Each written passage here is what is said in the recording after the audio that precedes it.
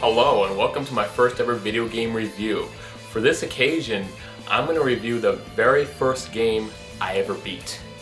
That would be Sonic the Hedgehog for the Sega Genesis. Of course, if you're not from North America, that would be the Sega Mega Drive.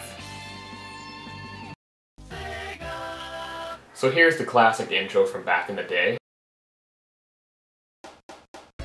Ah yes, look at that view. Wait. I don't remember this being in Sonic. What happened to all the water? What happened to Sonic's eyes? What's with that creepy grin? It looks like Sonic in hell. Wow, this is totally badass. Let's play.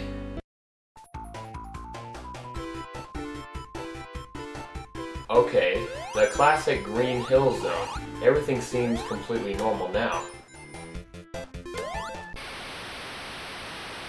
Whoa!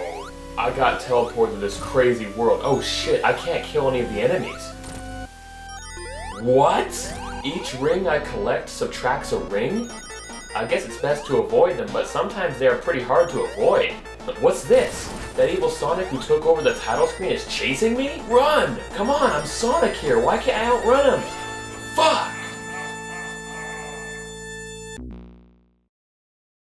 Okay, let's try again. Maybe there is something else I'm supposed to do. Okay, so running didn't work. I think I should fight him.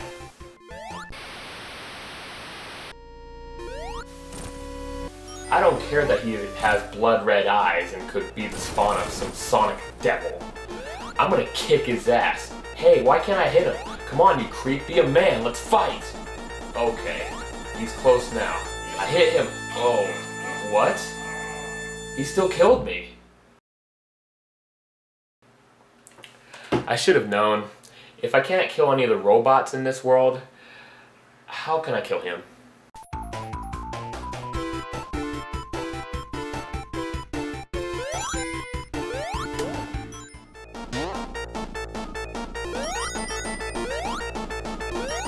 What do these monitor boxes do here? I'm back in beautiful Green Hill Zone, and you damn badniks are dead!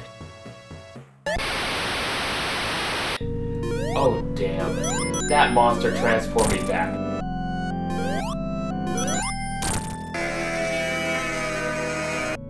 Fuck, I lost all my lives at the first level of the game.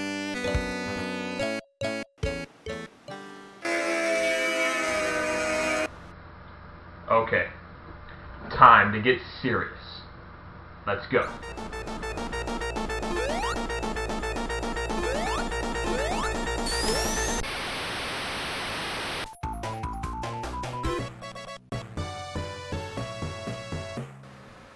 Made it to Act 2 this time.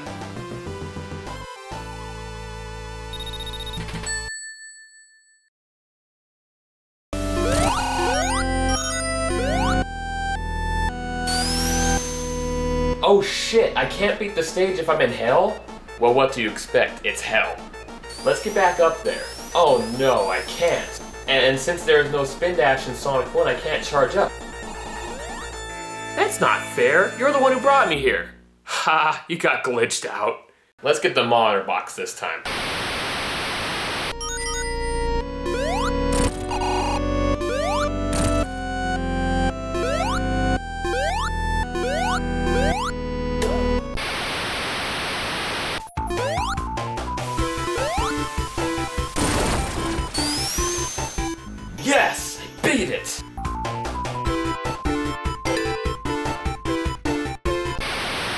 Got to be kidding me. When I face Dr. Robotnik, I still get transported to hell. And I face an even more evil version of him who can't die. Well, at least if I hit him enough, he drops a monitor box, but it sure makes this boss take much longer and make it all the more important you don't get hit. Well, I can't seem to beat this part in Marble Zone, so I'm just going to run out of lives here.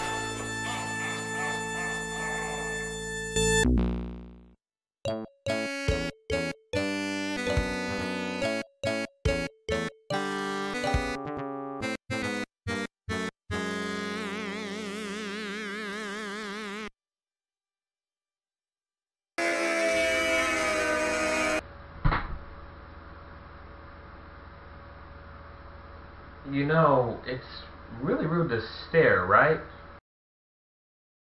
Well, just in case you hadn't figured it out, that is not the original Sonic the Hedgehog. Instead, I played a ROM hack called an Ordinary Sonic ROM hack.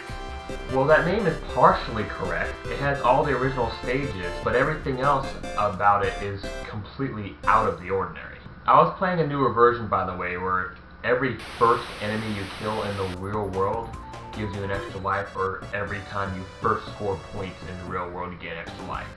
In the original version, that's impossible. You don't get extra lives that way, so you get a lot more game overs. Here is the original Sonic the Hedgehog. Well, I don't have the original Sega Genesis cartridge, but this should work just as fine. Sonic Mega Collection on Nintendo GameCube.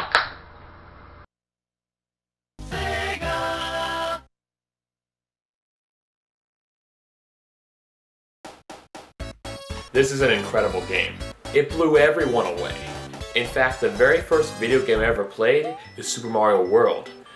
But I was so passionate about playing Sonic the Hedgehog that I beat that game first. Not only that, I beat Sonic the Hedgehog multiple times before beating a single Mario Brothers game. That says a lot because Mario games are really easy except for the lost levels. Sonic the Hedgehog still holds up today. While the spin dash wasn't invented until Sonic 2, it's still easy to pick up speed in this game. Now the classic Mario games are games that many people would say are the best platformers ever. The greatest classics. But what Sonic does that Mario doesn't besides run really fast is have better level design. The level design in Sonic the Hedgehog is superior even to the level design of Super Mario World which came out the same year on the Super Nintendo. Each level in Sonic has multiple routes you can take to progress. I mean, look at even early on, Green Hill Zone. You can go on top of the hills, you can take this middle route here, or you can smash through the wall down here and progress that way. All Mario games back then had a very linear way of progressing. While some Mario levels did have alternate routes, they weren't as alternate as Sonic, if that makes any sense to you. I also like the bosses better. Mario games have decent bosses, but man, they are easy bosses. Usually they take only 3 hits to be defeated. Dr. Robotnik, on the other hand, takes 8 hits. Anyways, the goal of this game is obviously to get to the end of each level and uh, defeat Dr. Robotnik and free animals. PETA would love this game. Playing as a heroic hedgehog, freeing animals from robots and giant containers, Mario's an animal killer, but not Sonic. Now I don't mean to bash Mario. Mario is great and Sonic definitely took some inspiration from him, but so has pretty much any other platformer. But Sonic does take it to a whole new level. Now let's talk about zones and bosses. So first we have the classic Green Hill Zone. Dr. Robotnik has a big wrecking ball that you must avoid while trying to hit him. Then there is Marble Zone, which is a fortress with some lava and these caterpillars, which you have to hit in the head. Hit anywhere else, and you get hurt. Robotnik flies a machine that drops fire. Makes sense. Then there is Spring Yard Zone, full of things that bounce you around and are somewhat annoying sometimes, but still fun. Robotnik tries to stab you with a spike and break down the bridge you are standing on while he's at it. Then there is Labyrinth Zone, where the most terrifying music in video game history plays.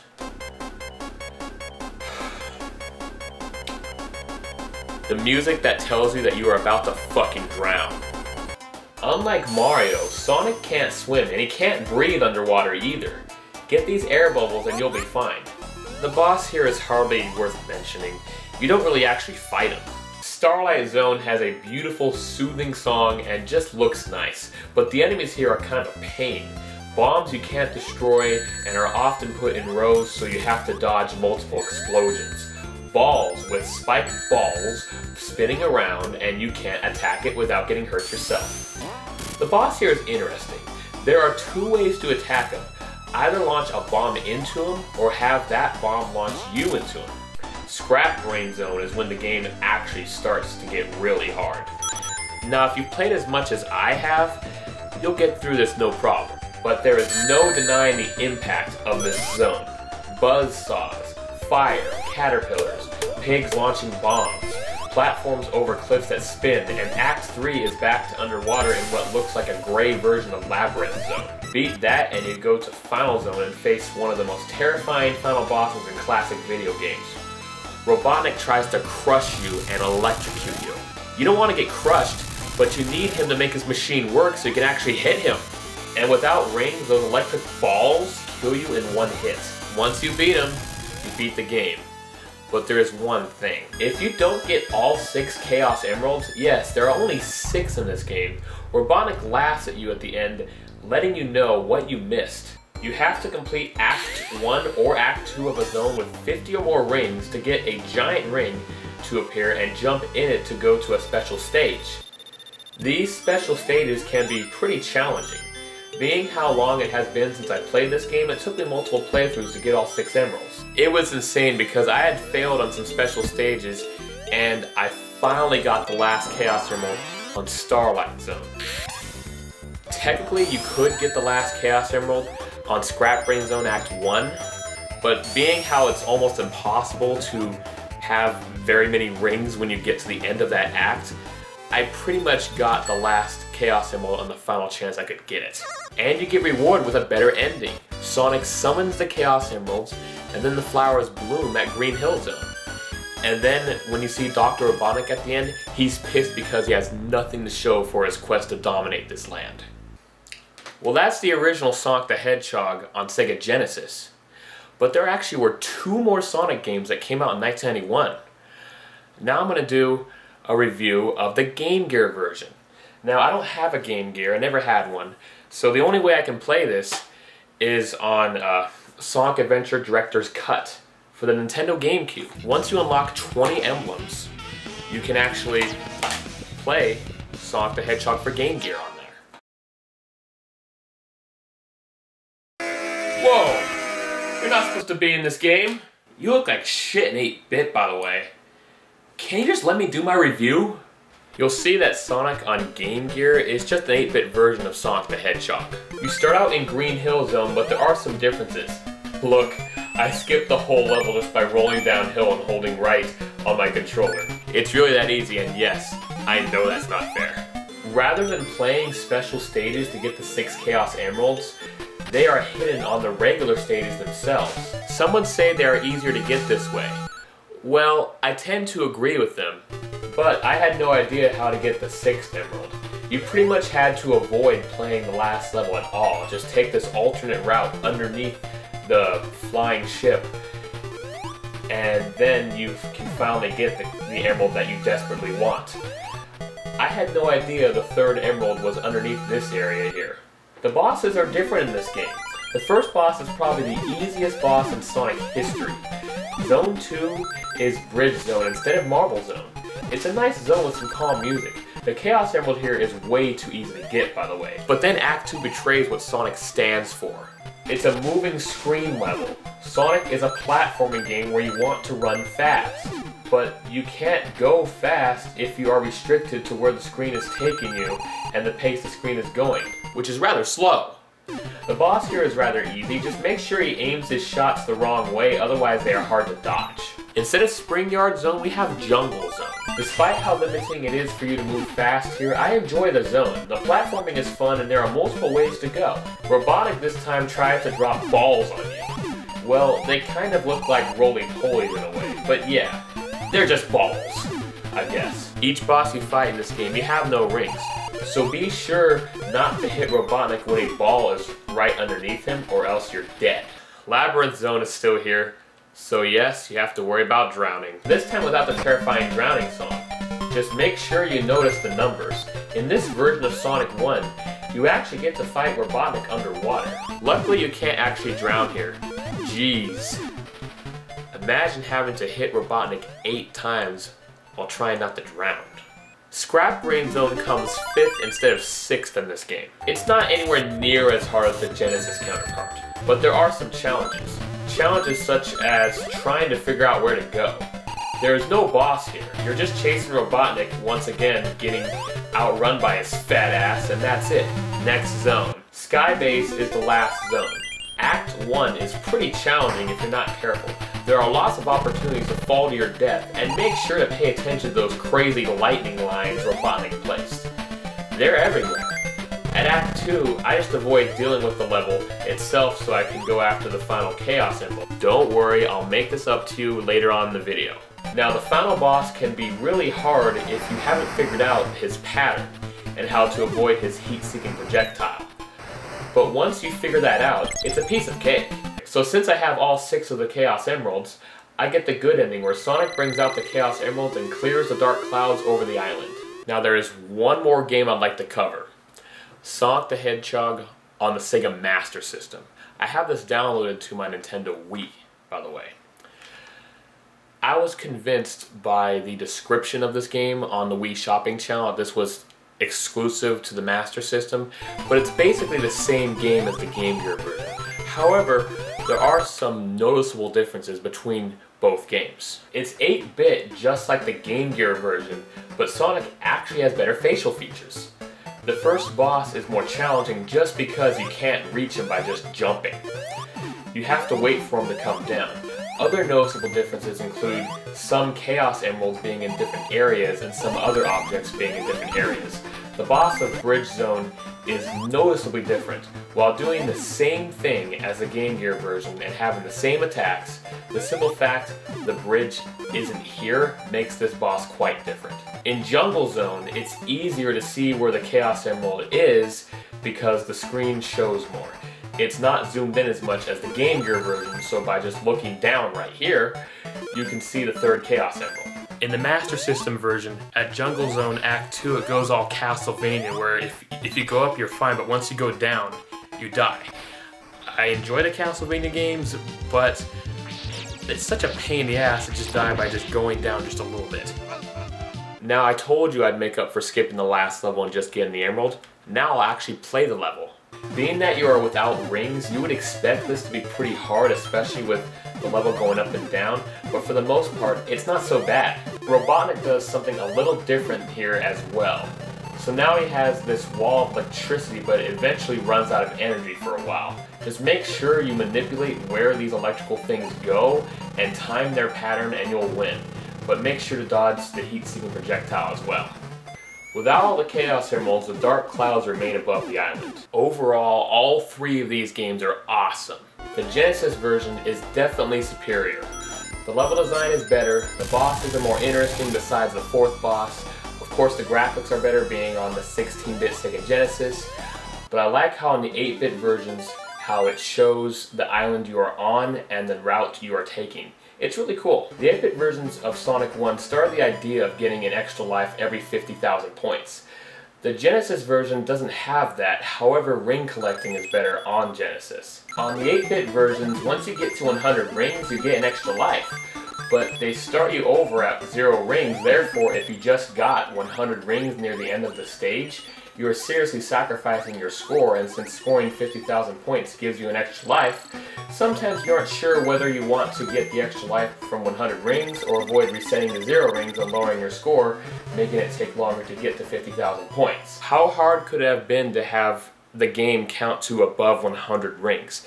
They have your score count to hundreds of thousands, but they can't have rings count to above 100? In the Genesis version, your rings count above 100, so if you get 100 rings, you get an extra life without dropping to zero. You can get the 200 rings and still keep all the rings and get another extra life. It feels more rewarding getting all the Chaos Emeralds on the Genesis version. Having to finish a stage with enough rings in order to even make it to the special stages, and then beat the special stages to get all the Chaos Emeralds, is definitely more challenging than, than finding on the 8-bit version.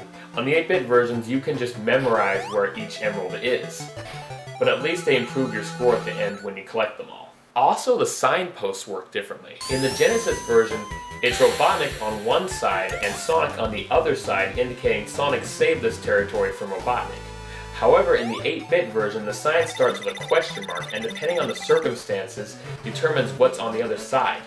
Normally it will be Robotnik, so then you don't get any bonuses. If you're out of rings, a ring will appear and you'll get 10 rings. If you lose a bunch of lives, Sonic will appear and you'll get an extra life. If you collect at least 50 rings, an exclamation point will appear and you get to play a special stage. Being that you already get Chaos Emeralds throughout the normal stages, the special stages serve as a means to collect rings, increase your score, get extra lives, and get continues.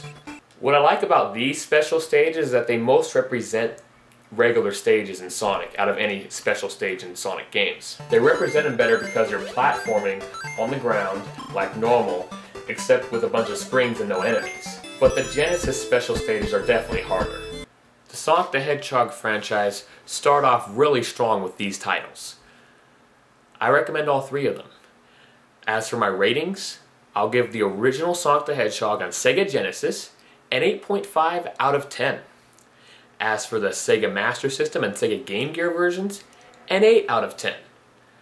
So, with that being said, I recommend you get all three. If you don't want to play both 8-bit versions and get one of the 8-bit versions and the Genesis version because the differences between the two are enough to make them both worthwhile.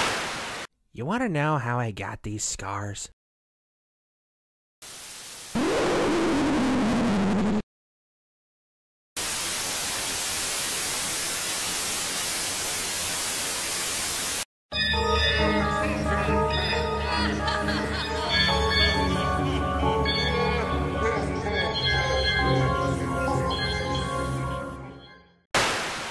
Have a serious problem with your eyes, man. Here, use these eye drops.